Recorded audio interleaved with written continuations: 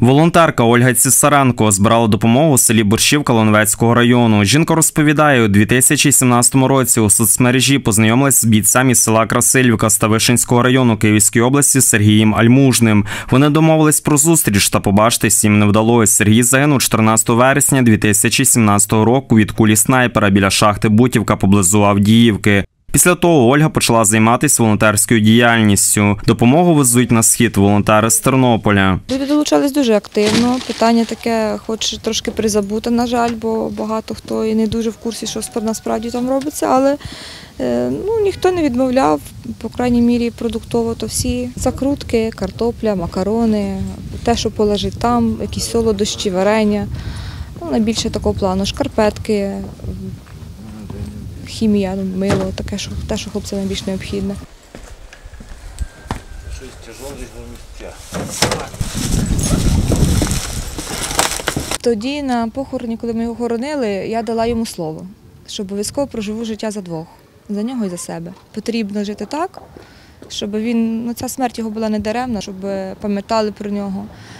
Тому я ну, важко було, але зібралася силами і знайшла в собі якийсь той ковточок життя, щоб відновити це все в собі. Волонтери біля храму вантажать у бус воду, продукти харчування, засоби гігієни, які збирали жителі села Борщівка. Везе допомогу військовослужбовцям у Донецьку та Луганській області волонтер Сергій Ліп'янін. Чоловік каже, їхати потрібно два дні. Це буде його 47-ма поїздка на схід. Дорога є важка, а е, самий цей груз, який ми веземо, є е, потрібний хлопцям нашим. І, тобто всі сили кинуті на те, щоб груз доставити і вернутися щасливо додому. Бус це, це є наша квартира. Ми тут і живемо, і харчуємося.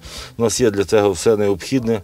Волонтер Володимир Мосейко розповідає, за тиждень зібрали три тони допомоги. Це буде 107-ма поїздка волонтерів на схід. Борщівка має такий якийсь великий патріотизм і дуже часто долучається до цієї волонтерської допомоги. І от мені пані Оля зателефонувала і запропонувала е, свою допомогу в волонтерстві. Ми, ми підтримали. Ну, до цієї допомоги ви бачите, що частину продуктів веземо звідси, частину буде з Монастирищини, з Тернополя, з технічного університету збирають, е, з Микулинець передають. Е, Тобто багато люди передають. Я не знаю, чи все влізе в один бус. Цієї волонтерської допомоги ми показуємо, що е, наші люди любили, люблять і будуть любити наші Збройні сили, тому що без Збройних сил не буде України.